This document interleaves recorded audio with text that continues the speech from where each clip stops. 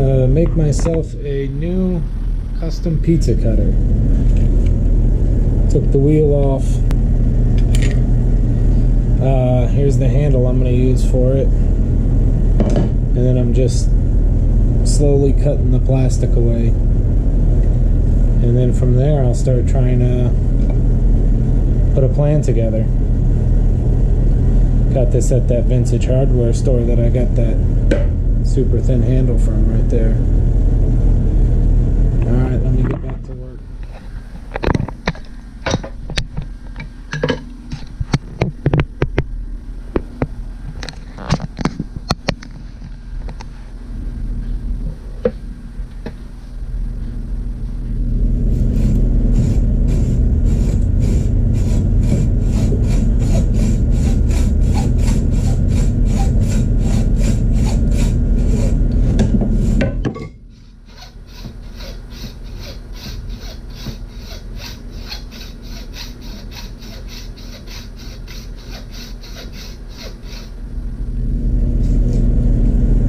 Take a little bit off at a time.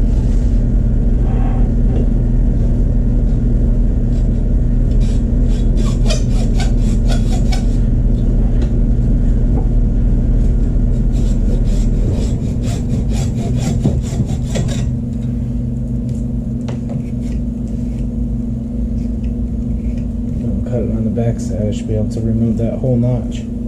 So I'll plug along. Okay. This is how far I got.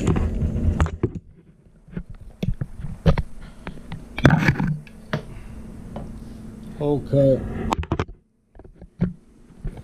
Want to get it a little bit deeper so I can get it to this. But it's more or less gonna have like this type of hopefully pattern, but just a smaller version. Make it short. So we gotta drop the head in a little bit more.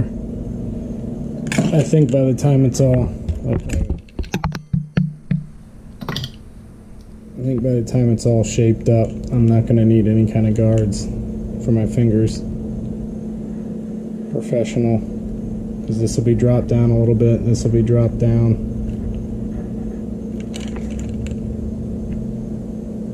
Alright, that's it for tonight.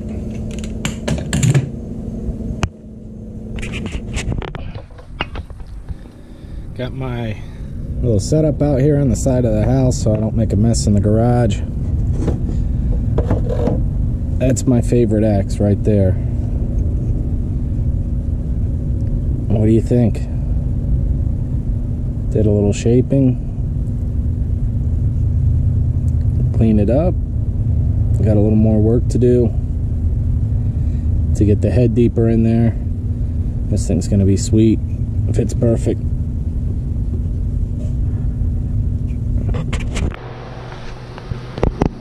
Alright guys, little update on my axe handle custom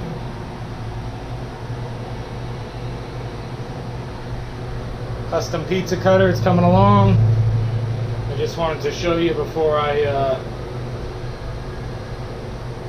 um, burn the grain and seal it. And to seal it, I'm going to use um, coconut oil. My buddy Ray over at uh, World's Fastest 2 shared that trick because it's food grade safe. It seals the wood, puts a nice finish on it. So we're going to try some coconut oil. So I'll show you. Oh, oh, show you guys when I uh, when I finish it. But I'm ecstatic. I can't believe how well it looks. How good it came out. After the burn, get the wood grain lit up on it.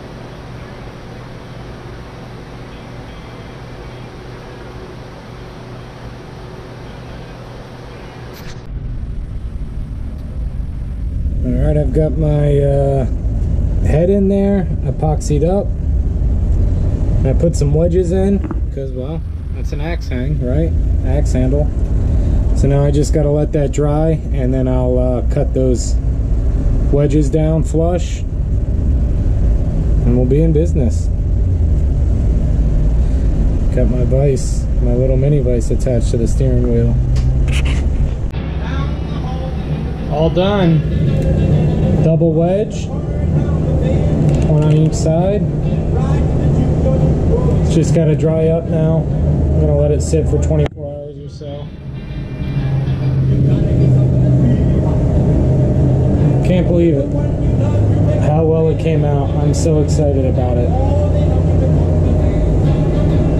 My buddy Ray over at World's Fastest Tube on YouTube, he was playing around with some uh, some different uh, burls and wood and spiked my interest and he's the one that built me this custom uh,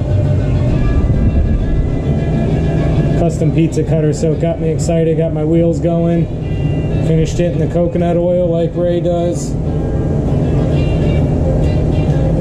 And I just got expired inspired watching.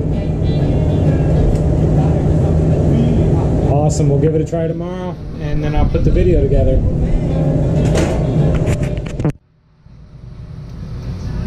okay showtime.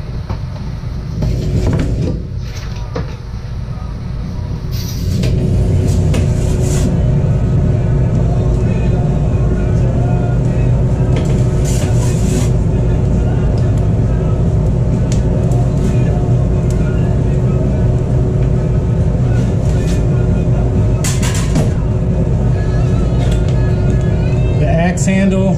Build double wedge two wedges in there because it is an axe handle. Gotta have your wedges. Oh jeez.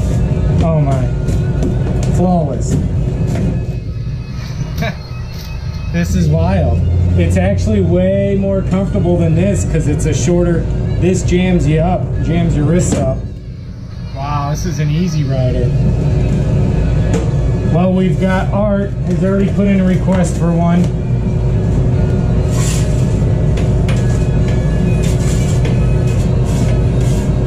Art's already put in a request for one because he's got uh, a bad wrist, so. A Couple different prototypes we're gonna work with and see. Might be onto something here. Place your orders. All right, we got a uh, fully loaded veggie. And this will be our ultimate test. If we can blast through all these veggies, I think we already know the answer. It's a success, this pizza cutter, but